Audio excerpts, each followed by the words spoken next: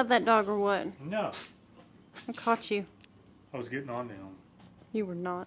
You were kissing him, scratching him.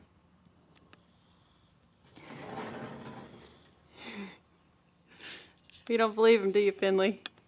Nope. Oh, hello, engines. Our transmission from Gearstar just arrived. This is so cool. The box alone is like angel singing.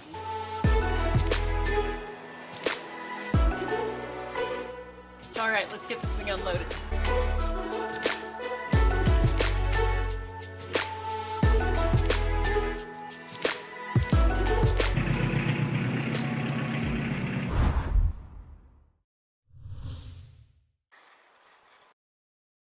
It's time to strip this bad boy.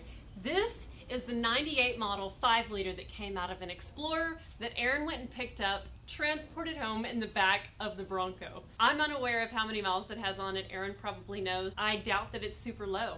I bet it's got a lot of miles on it. I'm gonna take all of this old fuel injection off. We do not plan to reuse it. We are going to get rid of it. We haven't quite decided what we're gonna do about a fuel system quite yet. All we know is we don't want any of this. So let's get started stripping this thing down. I don't even know where to start.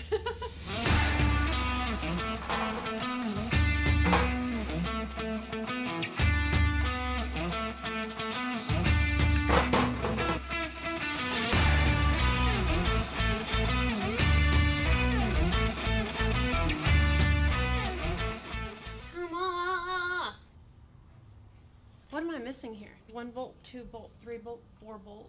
It doesn't look like it bolts up anywhere on this end.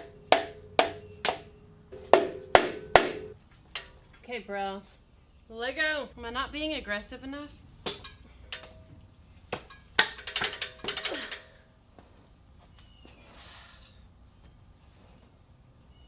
It really seems like there's another bolt in it somewhere.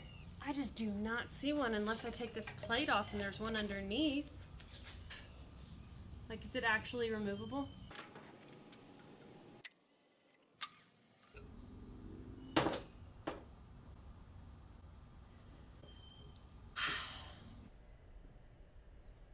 They were underneath the freaking plate. No wonder it wouldn't come off. Did you see how loose that was? Oh my gosh, you guys, let me tell you how freaking happy I am that I did not mess with this for two hours and then Aaron come home and be like, take that plate off, there's two more bolts. That's exactly like what would happen. Golly, that was freaking crazy. now that we're over that hurdle, let's keep going. oh man, too funny. Our parts table is getting full and our engine's getting naked. Awesome. Well, more gunky in there than I expected it to oh. be for 100,000 miles. Or It's only supposed to have 100k. That's what I remember. But it's a Ford, so I mean, like 100K on a Ford is like, 300 on a Chevy. yeah. So, oh, babe.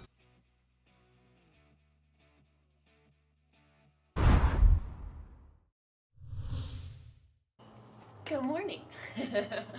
okay, the sun is coming up and it's time to drop this oil pan.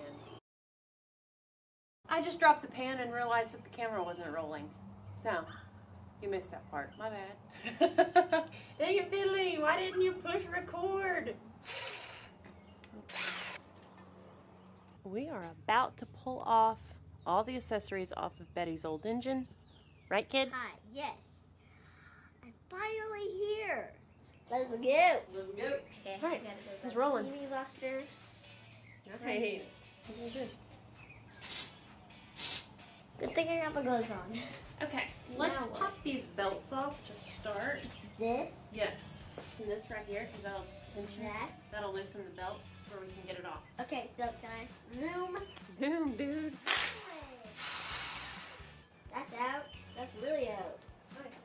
Job. Perfect. Now, how do I get the bolt out? that was funny.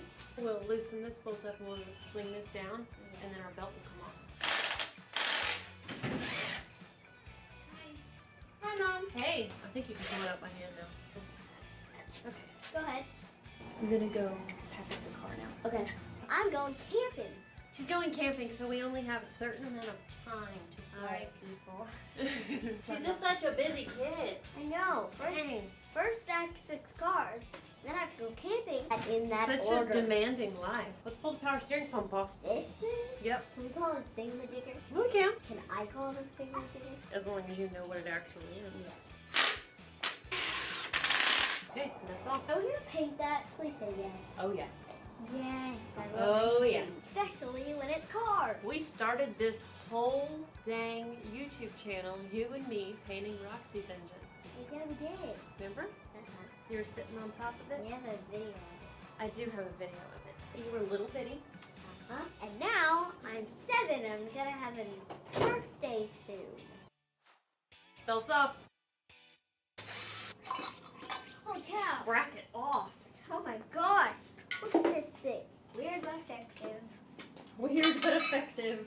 That's like me. Exactly. I'm weird but effective. You're Okay. Weird but awesome. Thanks, Found it. babe. Hey, will you grab me some PB Blaster? PB blaster. Please. P. P. Blaster. I was like P. You trip and fall and face plant. Little goes along with PB blaster. That's how be their ass. I did not tell her to do this. FYI. It's great though. oh yeah, there we go. That is, oh. holy cow! This one she does. And the other one, oh my gosh. Oh my gosh. Oh my gosh. So kid, this is the thing, like I drained all the water out, so it's just gonna have to spill out. We'll clean it up. Oh no! Not happening to me this time. Let's take this crank pulley off. The whole entire thing? Yeah. Will that make it leak? I don't think so. Mm, Aw. Thank you for all your help, dude. Yeah. that was a horrible throw. Give me one more time. Yeah. Got it. Love you. Love you. Peace. Riding solo again, y'all.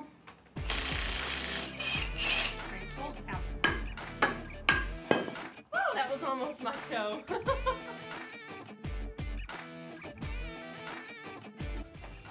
okay, plan right now is I'm gonna drain this pan and pull the front cover off, and this thing will be mostly stripped of what we're gonna reuse.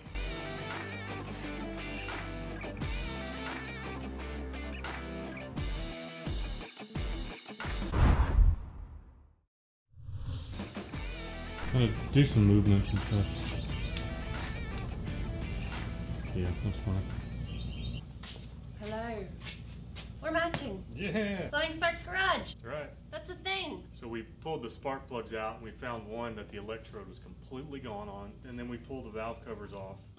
And it's kind of grungy in there and it's grungy in here. And I also noticed that there was a brand new water pump on it. What we want to do is go ahead and just pull these heads off, get a look at the head gasket, replace them. We're going to look at the cylinders. If everything looks fine there, we're going to leave that together because I really don't want to put rings in it. Kind of have my tool. They're on there, man. Babe, it's too pretty outside. I want to go to the beach. Maybe we should. And we did. Go watch the episode of Torque Crunches and Tailwinds.